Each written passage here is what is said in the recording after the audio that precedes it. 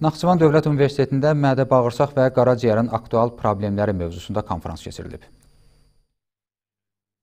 Muxtariyyətin 100-cü il dönümünə həsr edilmiş konfrans başlanmadan öncə qonaqlar ümumilli lider Heydər Əliyevin abidəsini ziyarət edib, önünə gül dəstələri qoyub hörmət və ehtiramlarını ifadə ediblər. Heydər Əliyev muzeyi ilə tanışlıq zamanı qonaqlara görkəmli dövlət xadiminin şərəfli ömür yolunu əks etdirən fotoşəkillər, onun uşaqlıq və gənclik illərinə həsr olunmuş stendlər, xatirə əşyaları və digər dəyərli eksponatlar barədə məlumat verilib. Konfrans əvvəlində şəhidlərin əziz xatirəsi bir dəqiqəlik sükutla yad edilib, dövlət himni səsləndirilib.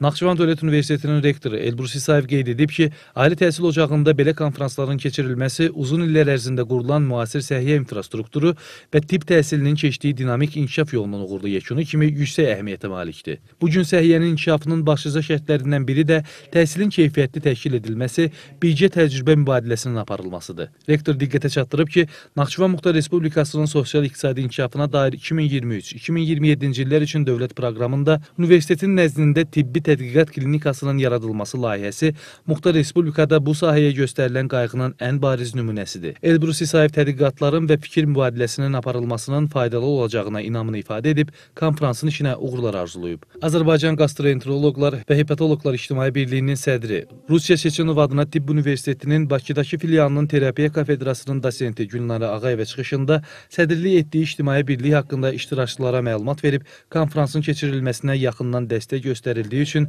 universitetin əməkdaşlarına, professor müəllim heyətinə təşəkkürünü bildirib. Azərbaycan Endoskopik və Laparoskopik Cərrahlar İctimai Birliyinin sədri, tibb elmləri doktoru Müşfiq Həsənov vurğulayıb ki, bir çox xəstəliklərin erkən diaqnostikasında və müalicəsində kompleks müalicə metodları ilə yanaşı, laparoskopik, endoskopik və robotik cərrahiyyə metodları yeni texnologiyalar sayəsində daha sürətlə və etibarlı olaraq həyata keçirilə bilir. Bu baxımdan müasir müalicə metodlarının multidisiplinar müzakirəsi olduqca aktualdır. Milli Onkologiya Mərkəzinin baş baş həkimi, tibb üzrə fəlsəfə doktoru Azad Kərimli Naxçıvan Dövlət Universiteti ilə bu cür elmi konfransların təşkilinin tibbi kadrların yetişdirilməsində müstəsna rola malik olduğunu diqqətə çatdırıb. Konfransda mövzu ilə bağlı müxtəlif istiqamətlər üzrə çıxışlar dinlənilib. Qeyd edək ki, konfrans 2 gün davam edib.